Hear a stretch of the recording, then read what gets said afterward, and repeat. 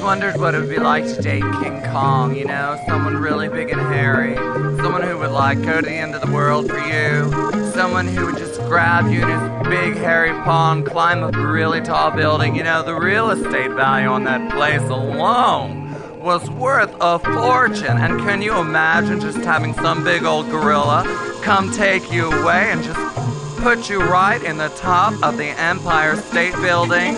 I don't know what she was so upset about. I mean, of course, sooner or later, the government, the IRS, the cops, they're gonna have to come and spoil everything. But I mean, he was totally devoted to her. I love that. Someone who would just, I don't even care if it's like, you know, a, a mountain. I'd be more than thrilled to just perch up on top of a mountain with my king, King Kong. I really would. I mean, I don't really expect much, but I sure hope for a lot. Is that selfish?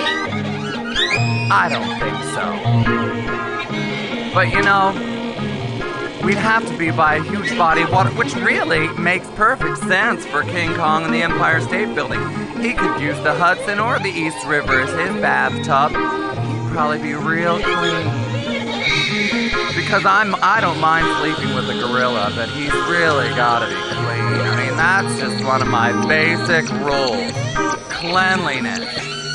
I don't want to have to bring in a huge, you know, I guess in his case would be a tarp or a, a, a circus tent or something to use as a washcloth just to swab him off. You know, I don't want to have to do that before.